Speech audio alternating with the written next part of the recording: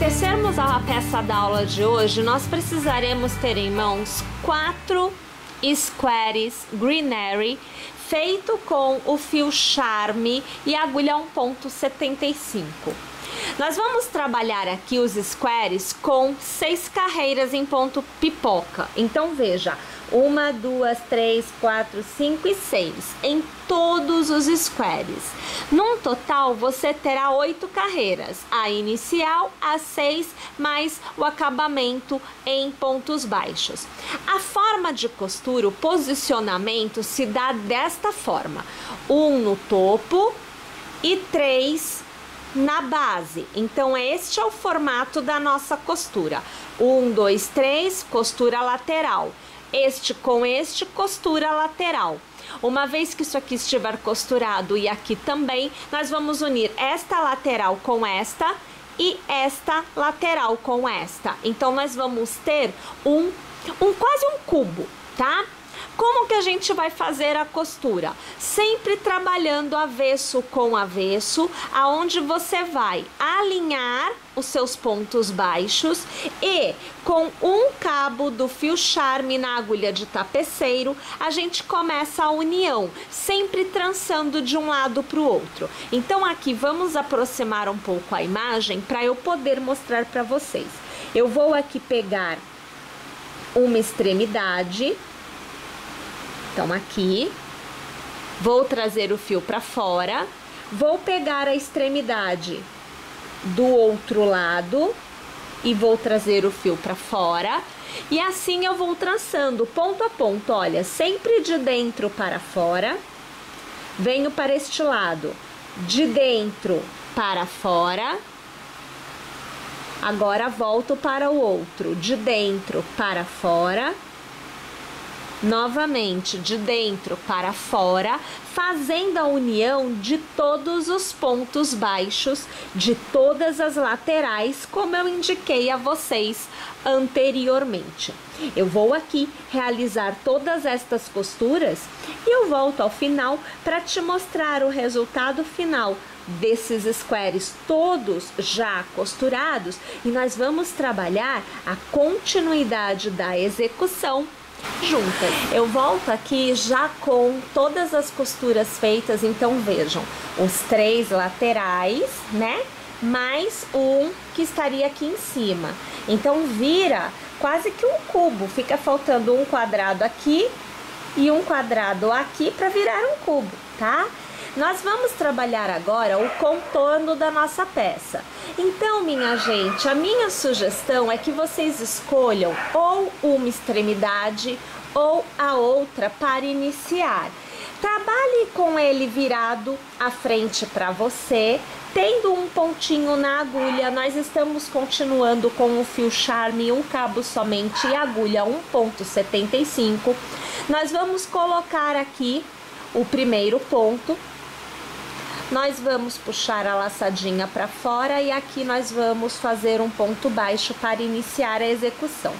Vamos fazer uma e duas correntes para dar altura, laçamos e como nós estamos na extremidade, nós vamos trabalhar o mesmo desenho que nós fizemos aqui no nosso, ou melhor, nas nossas extremidades dos quadradinhos.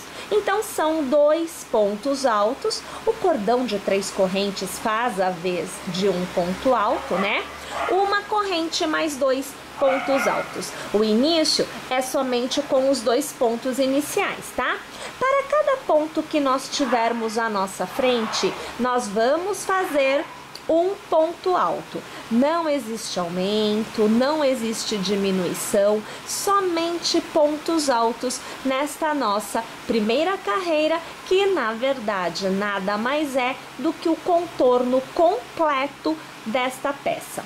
Vou tecer meu contorno todo, eu volto aqui para continuar com vocês. Agora que temos a primeira carreira de pontos altos totalmente tecida, nós vamos começar a fazer a segunda carreira e todas as demais são uma cópia dela.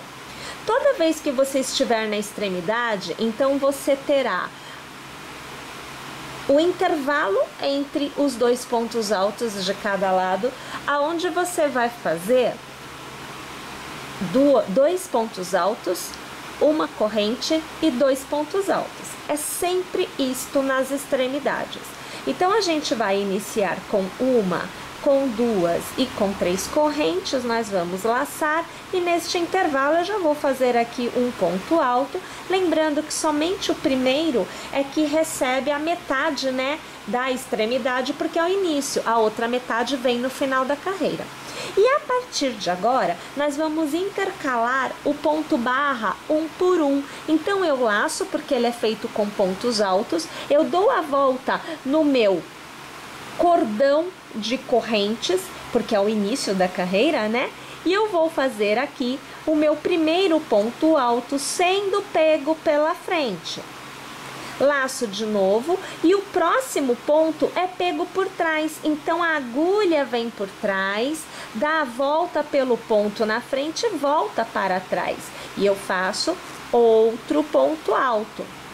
Mais uma vez eu laço e agora é pela frente, porque eu estou fazendo ele um por um. Um pela frente, ó, agulha na frente, dou a volta no ponto por trás e trago a agulha para frente. E o ponto é feito na frente do trabalho. Mais uma vez eu laço, vou para trás, dou a volta no ponto pela frente, levo a agulha para trás de novo. E o ponto alto, ele é feito na parte de trás do nosso trabalho. Bem, nós vamos intercalando o ponto barra desta forma no contorno inteiro, relembrando, a extremidade são dois pontos altos, uma corrente e dois pontos altos no intervalo de uma corrente, tá? Não é barra ali não. Vou tecer minha carreira inteira e volto para te mostrar. A primeira carreira em ponto barra está totalmente tecida. Nós vamos fazer a quantidade de carreiras que nós desejarmos. Aqui eu vou iniciar a segunda carreira com vocês. Então eu faço uma duas e três correntes, eu laço e neste intervalo onde por ser o início a um ponto baixo, né, nós vamos fazer um ponto alto. Eu preciso manter o desenho que eu tenho aqui. Eu tenho dois pontos para serem tecidos a mais em ponto barra. Eu tenho o meu primeiro ponto barra pela frente. Então, este será por trás e este será pela frente. Vou laçar e vou pegar pela frente o primeiro. Aqui, o meu primeiro ponto alto pela frente. Vou laçar e vou pegar o segundo ponto da carreira anterior por trás. E aqui o meu segundo ponto alto feito por trás. O terceiro ponto é feito pela frente, seguindo o mesmo desenho da carreira anterior. Laço e pego o quarto ponto por trás, seguindo o desenho da carreira anterior. Perceberam que a gente vai mantendo o desenho e procurando manter também, levando em consideração o aumento que é da parte do cantinho, aonde nós temos dois pontos altos, uma corrente e dois pontos altos. Tudo isso tem que ser contado para que o desenho continue batendo em todas as carreiras. Vamos lá então? Vamos tecer em ponto barra um por Eu um. volto então já com todo o contorno feito. Eu aqui teci três carreiras no total em toda a volta. A minha sugestão para fecho é que você use a fita de cetim, então aqui você vê uma já colocada e na pontinha eu faço aqui um nozinho. Para colocar, eu não costumo costurar. Eu acho que o acabamento fica melhor quando nós colamos com a cola universal da Círculo. Então você vai pegar a sua fita. Aqui está. A sua fita já cortada com o nozinho em uma das pontas. E nós vamos, com a ajuda da agulha de crochê, nós vamos colocar este fio para dentro do intervalo de corrente que nós temos nas extremidades. Então, eu vou virar aqui e nós vamos trazer com a fita virada do lado direito, nós vamos trazer ela para dentro da execução, desta forma, olha lá. utilizando a cola. Nós vamos aqui passar um pouquinho. Olha aqui. Depois a gente faz o acabamento removendo aqui, tá? Primeiro você cola e depois você faz o acabamento. Você coloca um pouquinho no comprimento, olha lá, e você vai unir alinhando, procure alinhar direitinho a sua fita e mantendo ela em descanso por 5 minutinhos, que é o tempo que leva para secar. Sempre mantendo o tubinho fechado, porque esta cola tem uma secagem muito rápida e a gente não quer perder o nosso tubinho. Então, olha lá, ó, deixa lá secando por 5 minutinhos, depois a gente vem e corta esse pedacinho que fica ali sobrando. Depois de 5 minutos, vai ficar bem coladinha como já está essa. Pode puxar, não tem problema nenhum, porque já tá seca. E você terá a sua peça totalmente tecida, totalmente pronta para ser usada. É isso aí, pessoal. Mais uma vez agradeço pela audiência de vocês. Eu espero que vocês teçam e é claro, eu aguardo vocês na nossa próxima aula. Se inscreve para não perder nadinha. Até lá.